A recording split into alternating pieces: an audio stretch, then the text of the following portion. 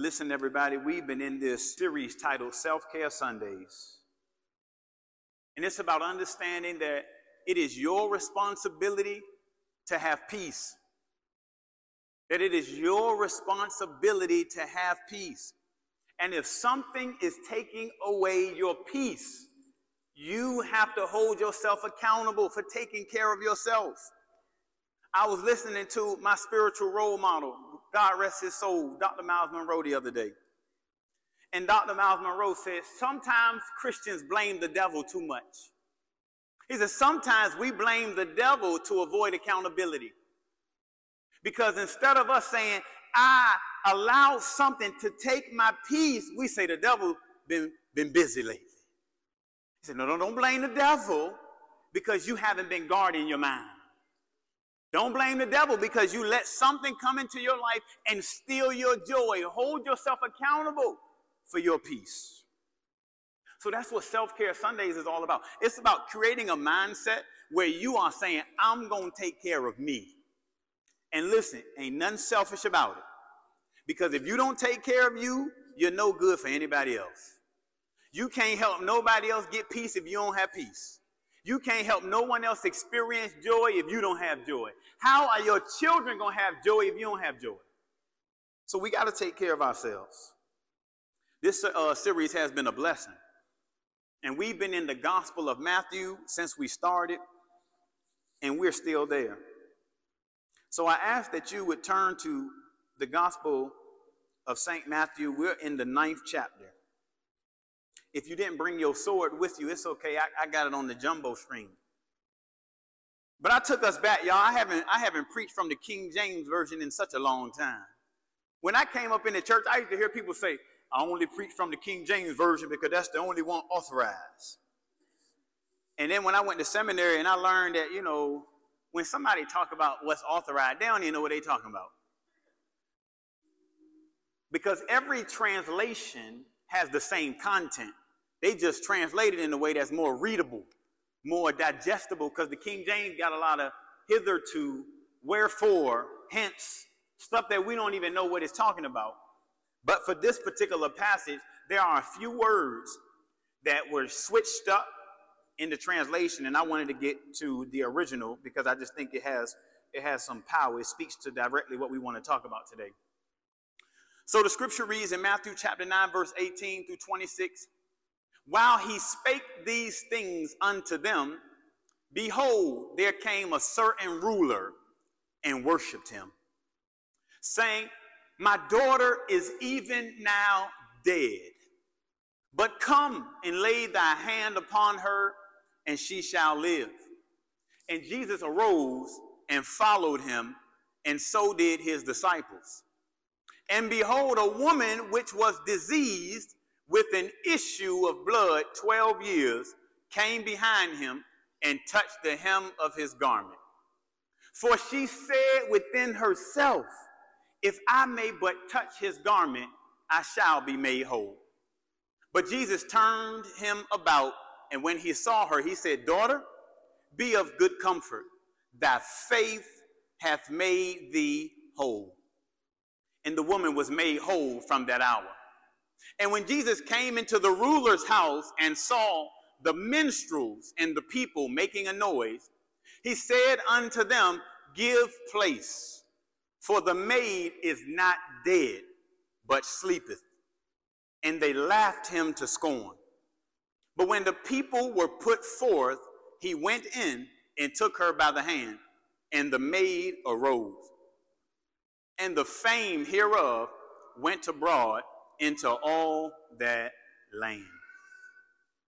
I thank God for the reading of this particular passage on this Sunday morning as we get into Self Care Sunday.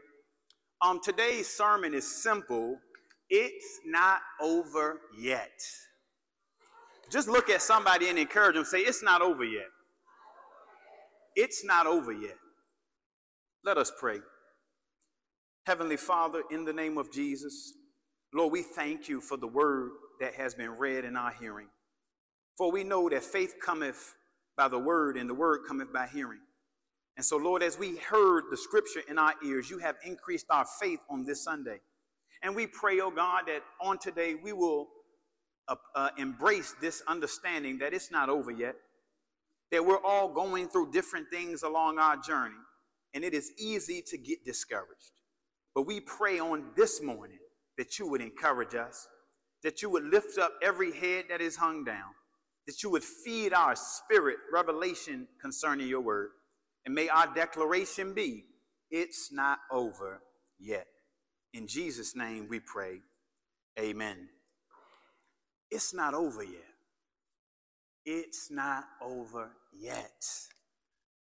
What's so amazing about this particular text is that it actually highlights the fact that everybody has some issues.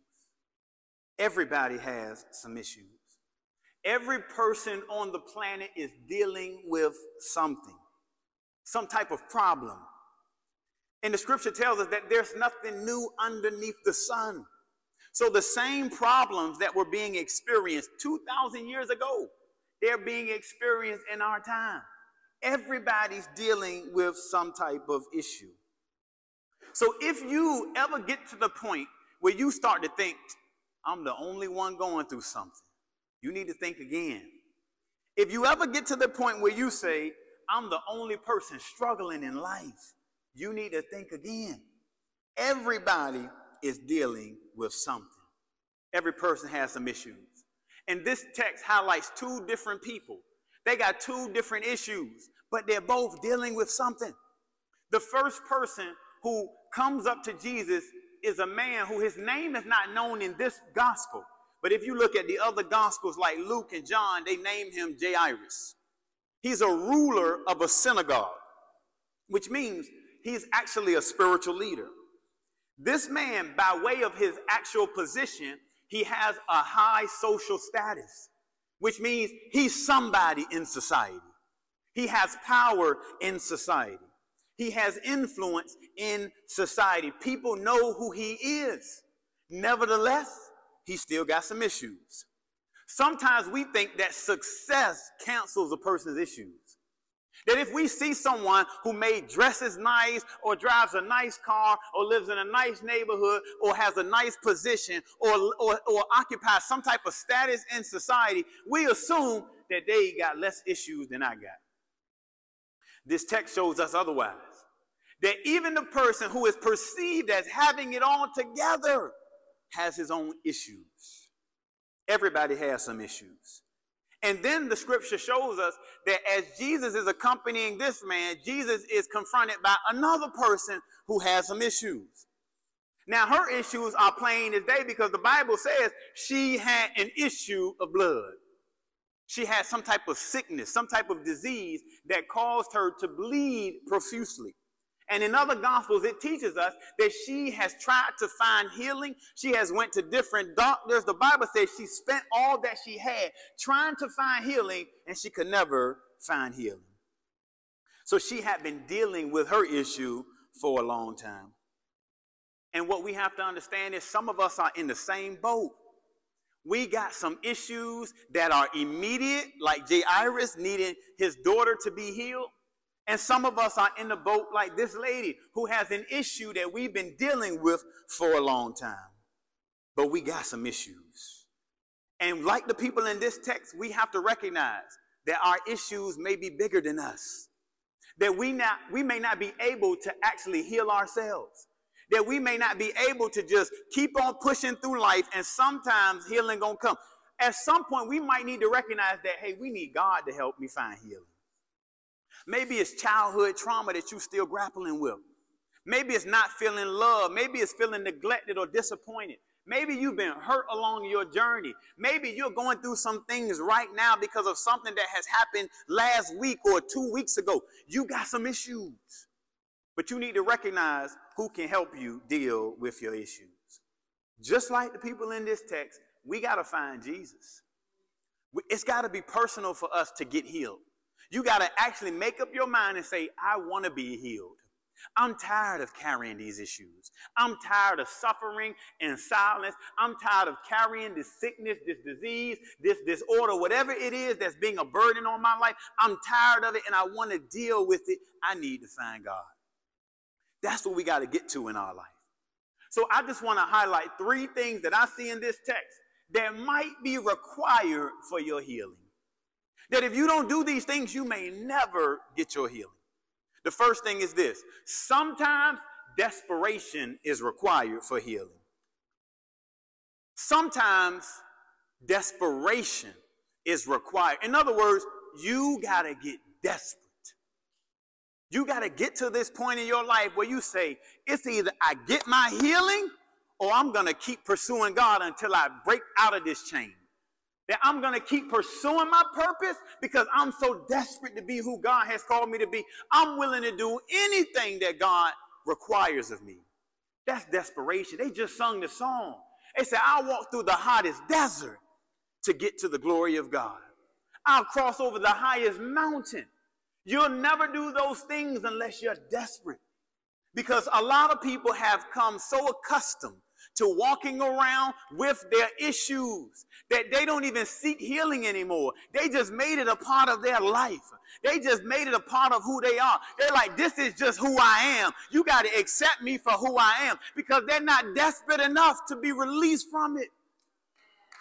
And so we think we got to be that way forever. The devil is a liar. One thing that God has authorized us to experience is freedom. So, whatever chain is holding you down, it doesn't have the authority to go with you into your future. It may have been with you in your past, but it can't be with you in your future. You got to be desperate enough to say, Today, God, I want to be healed. I want to be healed. Scripture tells us in the New Living Translation, Matthew chapter 9, verse 18. Scripture says, as Jesus was saying this, the leader of the synagogue came and knelt before him. My daughter has just died, he said, but you can bring her back to life again if you just come and lay your hand on her. He said, My daughter just died.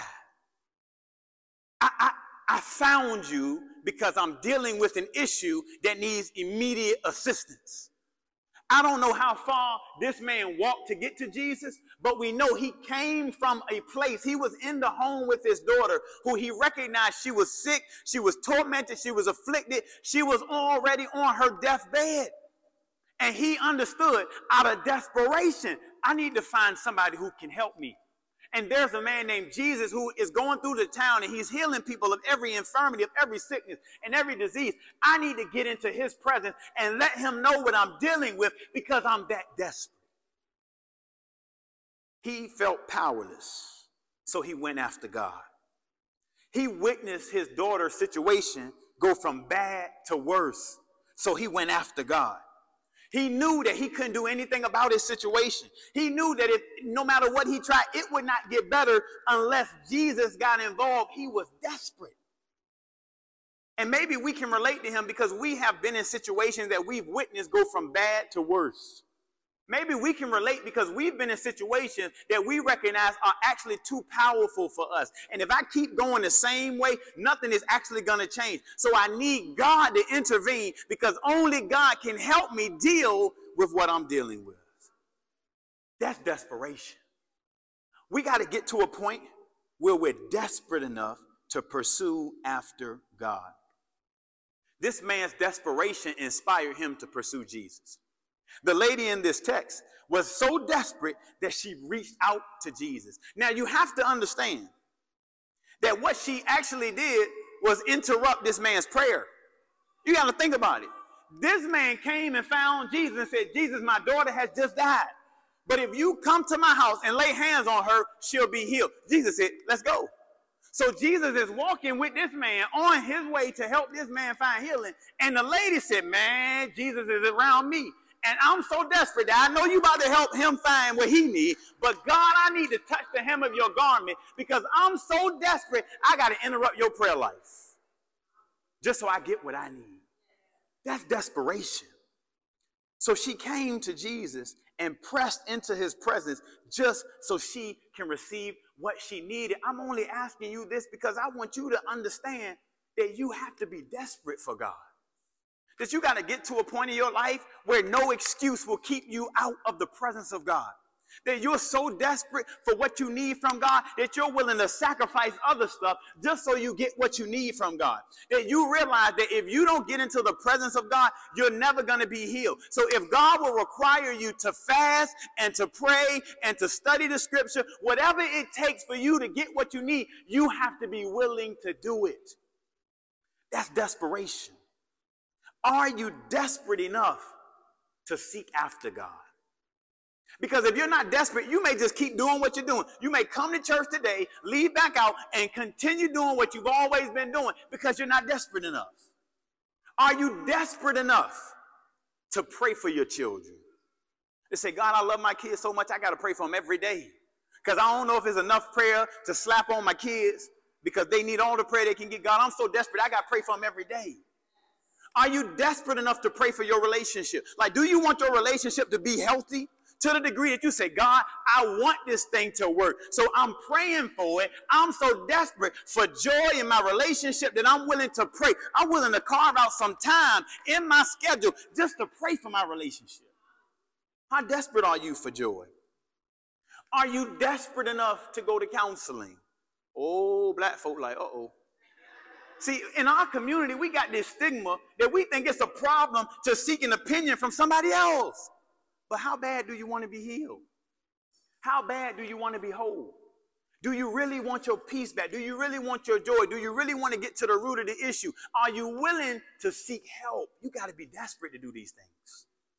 Are you desperate enough to ask God for healing in your mind, healing in your body, healing from your past? You got to be desperate enough to do this. So this lady understood that she had been struggling with this condition for so long, she said, I know this might be rude to interrupt what Jesus is getting ready to do for you, but I'm so desperate, y'all. I apologize after I get my healing. But I got to get healed today. She was desperate, so she went after God. Are we desperate enough to be like this lady and reach out to the Lord? Are you desperate enough to reach out to God? See, because I've learned along my journey that God is really a gentleman. He's not going to impose himself on your life. Like if you don't set aside time to read the Bible, guess what? You ain't got no time to read the Bible. If you don't set aside time to praise God for all of the good things he's done in your life, you're not going to praise God. If you don't set aside time to worship God and say, God, I thank you for my life. I thank you for my family. I thank you for my children. I thank you for everything you blessed me with. If you don't set aside time to give God your praise and worship, you're never going to give him praise and worship. Because a lot of times, what we need from God requires desperation on our part. And we don't want to hear the truth, but guess what? We're not desperate enough. We don't want it bad enough. We don't want to be who God has called us to. We don't want it bad enough. That's why we keep holding on to stuff. Because when we get to the point that we're desperate, it doesn't matter what's in your way. Like this lady displayed, you will push your way through to get in the presence of God. You will reach out to God no matter who's blocking you. It doesn't matter who's in the way. When you get desperate enough, you say, Today's the day, God, that I'm coming into your presence. That's how desperate we have to be. This lady models for us how desperation ought to look like. No matter what's blocking you, you got to press through it. No matter what's going on in your life, you got to press through it. Keep in mind, she still was sick as she was reaching out. Sometimes you got to reach out even though you're struggling. Sometimes you got to reach out even though you're going through something in your personal life. You still got to reach out to God. She literally said, If I just touch the hem of his garment, I will be made whole. The Bible is trying to get us to understand that sometimes desperation is required for healing. That's point number one. Point number two, sometimes a declaration of faith is required for your healing. A declaration of faith. What am I talking about when I say a declaration of faith? I'm talking about using your lips, using your mouth, using your speech to declare into the atmosphere what you actually believe. Like you have to affirm what you believe is true. That's a declaration. And you don't just want to declare anything, you want to declare your faith in God. Like, I believe God can make a way for me. So I'm not just believing it in my mind, I say it to myself. I speak it into the existence. I say, God, you can provide for me. I know I got more bills than I got money, but I'm trusting God that you're able to provide for me. So I'm declaring my faith. What's amazing about this text is they model for us how you should, you should declare your faith. Look at this. In Matthew chapter 9, verse 18, the Bible says uh, that the man who came to Jesus, this is what he said. He said, My daughter is even now dead. She's gone. She can't come back. But come and lay thy hand upon her, and she shall live. It's dead, but I know the power that you have. It doesn't look good, but I do believe that if you come, it'll change the whole situation. That's radical faith in God. Will you speak to something dead and say God can bring it back to life for you? Will you speak to what you're dealing with in your life and say God can restore this thing? And I'm not just talking about believing it in your mind. I'm talking about opening up your mouth and saying, I know it doesn't look good, but I believe God can do it. He affirmed his faith. He declared his faith. And the lady who had the issue, she did the same thing. This is what the Bible said. For she said within herself, Man, if I just touch his garment, I shall be made whole. Now, the beautiful thing about this is she didn't even say it out loud. She said it to herself. She said, If I just touch him, I won't have any more sickness. If I just touch him, I won't have any more disease. If I just get close enough to God, every shackle and chain on my life will be broken because He's just that powerful. Will you ever declare your faith? See, some Christians, we just too cute. We, we don't want to seem weird. We don't want to walk around the house and talk about this house is temporary. God getting ready to open up a door to my new one. See, you got to have a weird faith. You, you, you got to get to your point where you don't even care what people say. They looking at you like you going through something. This is temporary. I'm getting ready to come out of there. They're like, but you just started struggling and it's temporary. You got to affirm it. You got to declare. I know my marriage isn't where I wanted to be, but that's temporary. God is getting ready to bring about a healing. I know my children aren't where I want them to be yet, but God is still dealing with them. God is not yet finished. It's not over yet. So I believe that God will do a great thing. This is a declaration of faith. See, this text seems to suggest that there is a relationship between our words and our experiences. That it seems to suggest that if he didn't come to Jesus, open up his mouth and say, She dead, but if you come and lay hands on her, she'll be healed. Maybe his daughter would have never got her healing if he had not declared his faith. It seemed to suggest that the lady said, if I just touch the hem of his garment, I should be made whole. That if she would have never said that in her spirit, her faith would never have made her whole because the Bible said, Your faith has made you well. So it was her declaration that actually led to her breakthrough. I'm just trying to help you because maybe you are not receiving a breakthrough because of what you keep declaring out of your mouth. Maybe you keep talking yourself out of the promotion. Maybe you keep talking yourself out of increasing your credit score. Maybe you keep talking yourself out of having a joyful relationship because you keep saying, we'll never get to that point. Maybe you keep declaring, I'll never get the promotion. Maybe you keep declaring, I'm not adequate for God to do it for me. Maybe you keep declaring, I'm just going to have to live with this sickness. Instead of opening up your mouth and saying, God, I know you are able to break every chain in my life. I know you are able to set me free. I know you are able to provide for me. I know you are able to take me to the next level. I know you are able. What is your declaration of faith? I want everybody in here to find it before you leave today. I want you to leave today with a declaration of faith. For you and God, the only people who know what you're really dealing with. We'll never really find out unless you come and say, This is what I'm going through. So, what that means is you need the Holy Spirit to help you find your declaration today. Today, what are you going to declare out of your mouth? What's going to be your declaration? Are you going to declare, I'm getting healed in the name of Jesus? Are you going to declare that promotion is mine in Jesus' name? Are you going to declare God is getting ready to part the Red Sea and make a way for me out of no way? What is going to be your declaration of faith? This between you and God. You have to declare what your declaration of faith is. Because if you're not declaring faith, you might be declaring doubts. You might be living your life talking about how things will never change. And that's not the way that God wants you to live. God doesn't want you declaring your fear, He wants you declaring your faith. There's a song where David says, Let the words of my mouth and the meditation of my heart be acceptable in thy sight. Are your words acceptable to God? What you're saying about your destiny, what you're saying about your life, is God saying, Yeah, that's acceptable to me? Or are you settling for something less than God's best for your life? Based on what you keep speaking over your life. Are your words acceptable to God?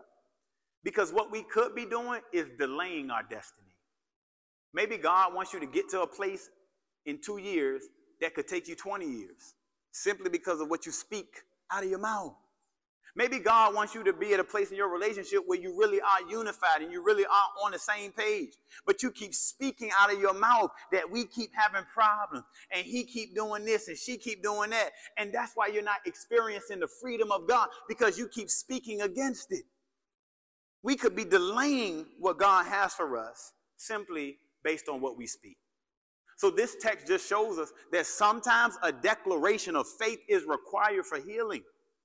And the third thing that I want to talk about is that sometimes the divine presence of God is required for healing. That there's some healing that'll never happen on the outside of God. That you can go to every doctor, you can go to every therapist, every counselor, but until God gets involved, you'll still carry that bondage. That there's some chains that only God can break off of your life. That there's some shame and some guilt and some regret that keeps you bound, and you will never get free until God takes it from you. So you need the divine presence of God. Scripture shows us in chapter 9, verse 23 to 25, the Bible says, And when Jesus came into the ruler's house and he saw the minstrels and the people making a noise, minstrels are flute players. Just put a pin in that. We're going to talk about flute players. He saw the minstrels and the people making noise. He said unto them, Hey, hey, give place, for the maid is not dead, but sleepeth. They laughed at him. Listen, Now, where they find this guy at? He can't determine somebody's sleep from somebody who's dead. They laughed at him. But when the people were put forth, everybody declared, Put forth. We're going to deal with that too. He went in, took her by the hand, and the maid arose. To understand the magnitude of what's taking place, you got to understand Jewish culture. See, because in Judaism, it was a custom that when a person died, they actually brought in the flute players. That's how you know somebody dead. They said, and people are in there crying and wailing. They took funerals so serious that they would hire people in there to cry. For real. They said, You ain't in a part of the family, but we'll pay you to come in here and cry with us. That was their custom. They went and got the flute player, they got the instrument, they started wailing, they started making noise. That certified that it's dead. So, what the scripture is trying to get us to understand that the people had gathered for the funeral. In fact, they had already pronounced her dead, and they had already started having the funeral when Jesus came in. But just look to somebody and say, But it wasn't over yet. It wasn't over yet. See, what God is trying to get us to understand that there's some people who will come around us who are willing to bury us before it's time. That there's some people in our life that will say it is over before God says it's over. That it is some people in your life, they don't even believe that you're going to come back from this setback. That, that, there's some people who don't think you can recover from what you've gone through in your life. That there's some people who believe you'll never bounce back from what you are dealing with in your life. So guess what? They showing up just to play the flute in your life. Yeah, and guess what? They ready to bury you, and God said it's not over for you. That's why it's important for you to understand who you are around. Because everybody don't want to see you alive. Everybody don't want to see you win. Everybody don't want to see you get the promotion. There are some people, they coming to play the flute. Oh, she dead now. Hey, y'all. They'll celebrate you when you're dead, but won't give you an applaud when you're alive. God is trying to teach us about this. But the good thing about God is, as long as God comes on the scene, even if it looks dead, it can still live. Oh, I'm trying to help somebody. Even if it looks like it's over, God says it's not over yet. I'm on the scene now. That if God be for me, he's greater than the whole world against me. That if God be for me, even death can't hold me. But God got to deal with these minstrels. God got to deal with everybody who want to play a flute in your life. Everybody who want to come and celebrate that it's time to bury you, God said, I'm gonna deal with them. This is what the Bible said. I gotta show you this in the, in, in the, uh, the New King James because I like the wording of this. Check this out. The Bible says, but when the crowd was put outside. Oh my goodness! Somebody, y'all got to catch that. See, y'all think y'all think the Bible is here to. Sometimes the Bible get a little, you know, hey, y'all in here. You know what? Get out. Oh man, y'all got to understand this. Did y'all catch that? The Bible says when the crowd was put outside, he went and took her by the hand, and the girl arose. When the crowd was put outside, Jesus healed her. When the crowd was put outside, Jesus performed the miracle. Sometimes Jesus has to remove people from your life before he starts to work in your life. Sometimes Jesus has to remove people from your life before he performs the miracle that you've been praying about. Sometimes God has to let some people walk away from you before he does the new thing in your life. But the problem with us is we think everybody's for us. Somebody's a flute player. They only coming because they think it's time to bury you. They, they only around because they see that you actually getting ready to leave. You, you having a bad day. You going through some stuff. So they ain't coming to celebrate you. They coming to play the flute because it's your funeral. Jesus said, get out. Oh, y'all ain't really here. And so, so what I'm saying is, when God starts removing people from your life, let them go. when God starts taking people away from you, let them walk. When the people who were with you all this time say, all right, I'm going on, say, all right, you be blessed now. Don't say, come on back in my life. Because if you say, come on back, you might be delaying your blessing. Maybe God said, until they leave, I can't do it until they walk away, I can't give you your breakthrough. I got a breakthrough for you, but there's too many people in here playing the flute. There's too many people in here making noise around you. And once they leave, then I can deal with you. See, I've learned that the best time we have with God is when we're with God by ourselves. I know you love people, but sometimes you got to get away from people. Because maybe God is not bringing forth that breakthrough because you're too crowded. Jesus came in and he said, I need everybody out so I can deal with this one by myself. And I'm declaring over your life, it's no different for you. God says, I want to heal you, but you're relying on other people for healing. So until those people get out of the way, I can't come into your life. I, I know you want me to provide for you, but you keep relying on your job and you don't recognize that I'm the source, your job is the resource, that even if that job don't work out, I'll just get you another resource. But if you keep holding on to that job, I can't do the new thing. I know you love your homegirls and homeboys, your old friends. But God said, it might be that they're in the way of me. God is saying, I want to come in. I want to bring about a healing. I want to take you to the next level. I want to do the new thing in your life. And when I do it, I don't even want anybody else to take credit for it. I want everybody to be out the way. So when you come out walking, they say, but she was dead, but she yet lives. Because God wants to declare it's not over yet. Hallelujah. I bless God for this word today. And I'm going to conclude with this. Whoo, this is good right here, y'all. God will give you a testimony. Just encourage somebody and say, God getting ready to give you a testimony. You have to understand what's taking place in this passage, y'all. A man comes to Jesus and says, Jesus, my daughter has died. He came in with an issue and left out with a testimony. A lady came in bleeding. She came in with a disease. She came in with a sickness and left out with a testimony. He learned. He said, Man, I got a problem, but God is the answer to my problem. She said, I got an issue, but she learned Jesus can deal with my issue. So sometimes you'll come in with a problem, but you'll leave out with a testimony. So stop declaring that it's a problem and, and declare that it's getting ready to be a testimony. That I'm getting ready to declare out of my mouth, I got an issue today, but tomorrow I'm going to have a testimony. I'm going through something right now, but tomorrow I'm going to have a testimony. I'm dealing with a struggle in my life right now, but God is getting ready to do a new thing in my life. Weeping may endure for a night, but joy comes in the morning. God is getting ready to give me a testimony so that when I leave, I can simply declare, I survived what I went through. Maybe that's your declaration. For those of you who haven't found your declaration of faith, maybe that's it. I survived what I went through. That the devil tried to take me out, but I survived. I had a lot of issues, but I survived.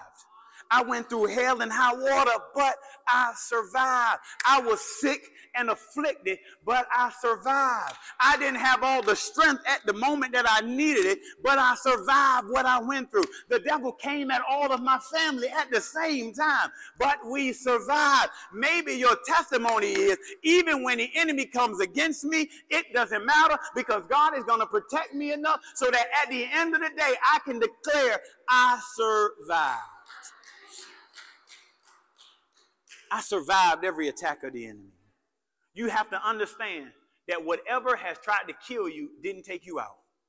That you're still here this morning. God sent you here because God just wanted to reaffirm in your life that the devil did try to kill you, but you survived that the problems did try to ruin your destiny, but you survived. And the reason why you survived is because God wants to use you to help somebody else develop their testimony. Because somebody else is going to come along you and say, guess what? I got some issues. And you can declare, I had some issues too. But God dealt with that. Somebody going to say, hey, my family member is sick. And you say, I had a family member who was sick too. But they survived. Why? Because God wants to give you a testimony all for his glory. You have to be desperate. You have to get to a point in your life where you can declare what you want to experience. It may not be your experience at the moment, but you have to have enough belief that it will be my experience. You have to get to a point where you recognize the power that God has, that you can affirm out of your mouth that if I'm with God, I'm going to be okay. That if God is for me, I'm going to be okay. That no matter how dead it appears to be, God can bring new life into that thing. That I believe that God is able because it's not over yet. Just declare one more time it's not over yet. It's not over yet. I don't know what you are dealing with in your personal life, in your health, in your mind, in your uh, marriage, with your children. I don't know what you're dealing with, but I do know one thing it's not over yet. Don't allow the enemy to make you think that what you are dealing with right now is permanent because everything is temporary. There's a season for everything under the earth, which means everything that we experience is only for a short time. But we have to believe that. You have to declare that this is seasonal, it's not over yet. I'm going to hold on to God to see what the end is going to be. And I know without a doubt, when it is all said and done, God is going to give me a testimony. Come on, somebody. Put your hands together for God right there. Glory to God.